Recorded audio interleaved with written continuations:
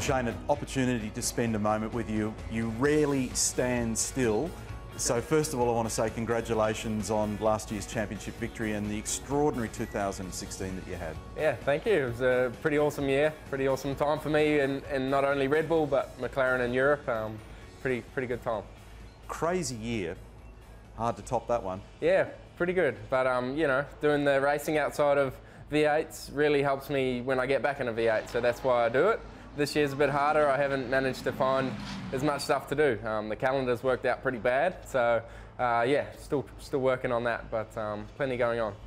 So 2016 was the icing on the cake, but took a long time to bake it. So 10 odd years in the making. Yeah. I can recall having a chat with you when you first arrived in Australia and had that opportunity to have a run at Oran Park in 2007. This Kiwi that I didn't know, babyface kid Lobs, and is going to race in our series. You've come a long way. Right, I don't have the baby face anymore. Well, Shane, the last time I saw you sitting in an office, today you're in the appropriate office in the race car. How'd you go? Oh, it was awesome. I ran 15th, so you know we were hovering around 20th, 22nd, and yeah, we jumped up to 15th when we put the greens on, and yeah, it was awesome. Yeah, a bit of other stuff now. haven't yeah, you? no, that was that was cool. I, re- I remember that like it was yesterday. Um, pretty special times. I was pretty raw coming over. I'd only been racing for two and a half years, so it was a big step for me. But it's taken a long time, but we've finally finally got there. But um, yeah, drove, driven for some awesome teams, not only in supercars, but it's uh, it's been a great time. As I tried to peel back the layers of understanding you and, and your background, couldn't believe some of the stuff you did as a youngster and just all the different types of racing. Yeah, well, my dad was a rally rally driver, and I always went along, was in the pits throwing throwing mud around and, and playing, and always wanted to be part of it. Uh, I got a quad bike when I was eight, started racing that, and speedway when I was nine, and and just learned from there, you know. And I was really loving speedway, really loving quad bikes, and, and dad thought I should drive a go kart just to learn lines and go racing, and I hated it to be honest. Go karting was too competitive, everyone was too serious, so didn't really enjoy it, but I was good at it. So only did it for a year or so. Um, kept racing speedway and quads and, and loving that. And then um, in a magazine, Speed Sport magazine in New Zealand, they ran a scholarship to race uh, Formula V or Formula First as it was later called, and, and went and did that and enjoyed that. You know, didn't think I'd like it after karting, but um, big circuit racing was, was awesome. So yeah, did a year of that, and then a year of Formula Ford, and then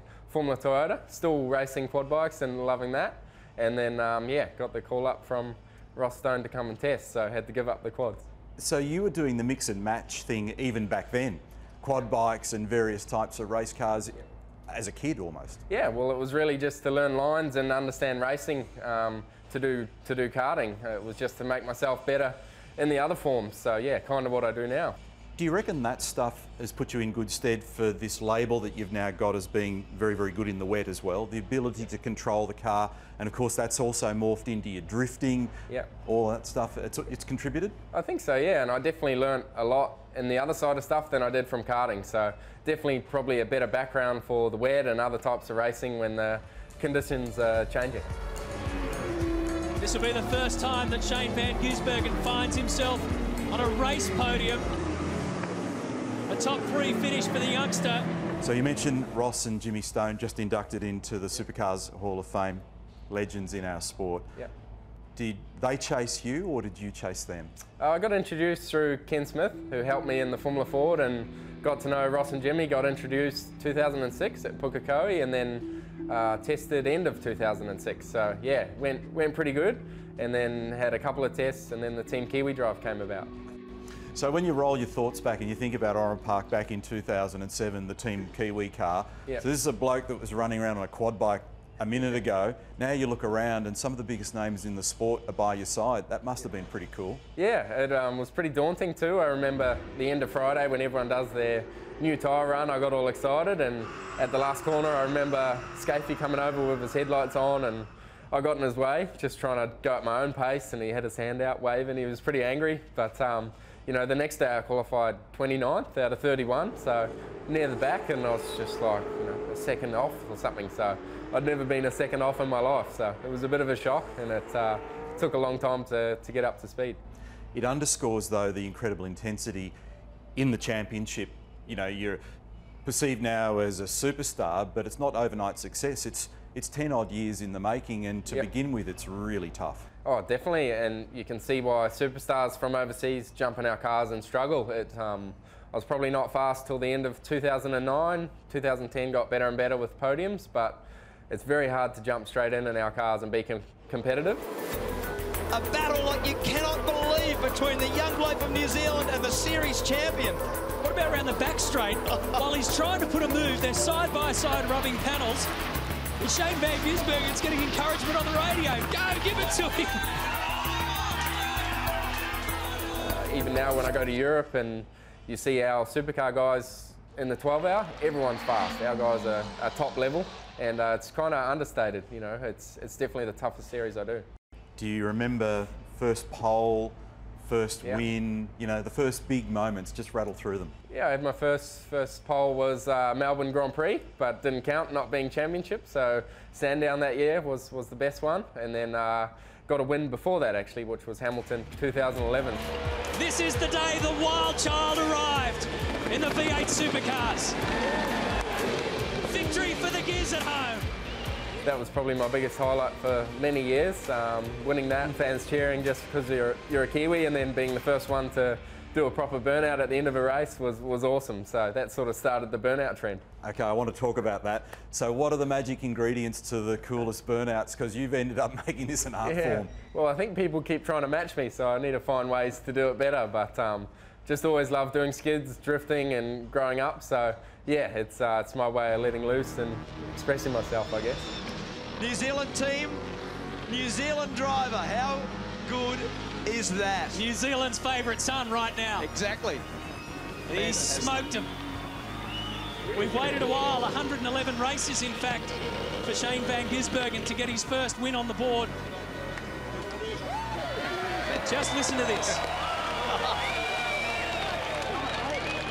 That moment in Hamilton was fantastic. It really was a, a hair standing up moment for everybody in the industry to see a Kiwi do so well on the streets of a New Zealand racetrack. And uh, you must have sensed at that stage that you could go on with the job and take the highest position in the sport at some point. Yeah, and I really hoped it could be with, with Stone Brothers. We were really moving forward at that stage, and uh, that year I think we finished fourth in the championship, and we were looking to move better, but it didn't happen. But um, that, that kind of year we were really moving forward, and it was great to be a part of. And yeah, as I said, to win it at Hamilton like that, it was a pretty special time.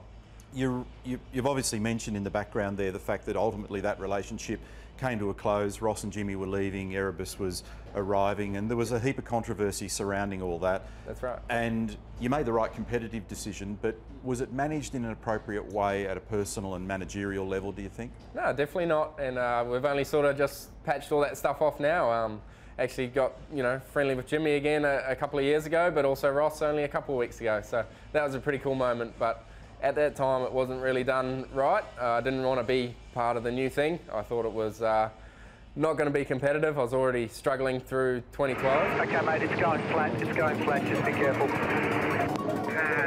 broken, not flat. is what it is. But um, you know, I was happy to sit on the couch 2013, go race speedway again or something overseas.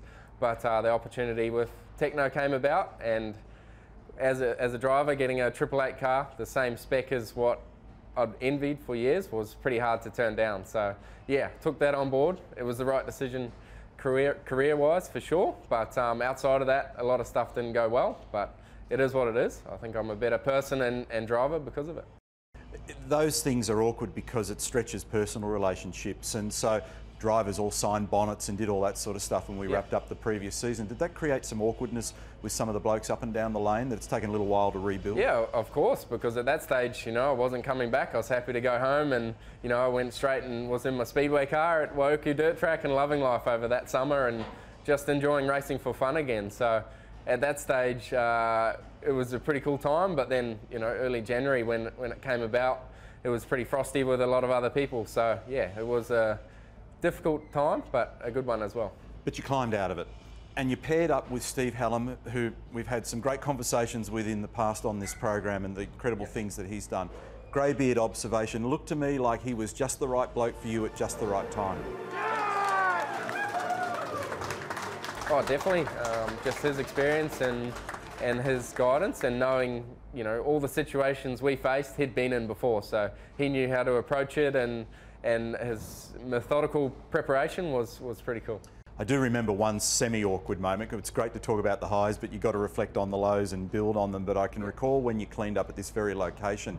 I think we were interviewing you downstairs, but the interview had to be conducted Yeah. in the Erebus garage after you'd won, and I can recall just the tension in that process. That was pretty tough. Yeah, I had old love there sitting with the death, death there, but I just angled the trophy in the right way, and I was pretty happy about that one. You uh, set the fastest lap of the race early in the piece as well, apart from all the other things you achieved this weekend. Did that on lap 24, but uh, special moment there for you. You're really going to savour this one. Oh, all the stuff that's going on, it's great to just get out on track, get out there, get the results, and uh, it's uh, ironic which garage we're in now, but uh, yeah, it's pretty cool.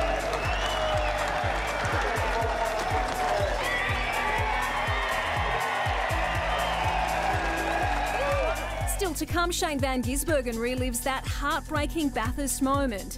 So good, so. Go, go, go, go, go. Oh, Two seconds, three seconds, four seconds, five seconds, six seconds.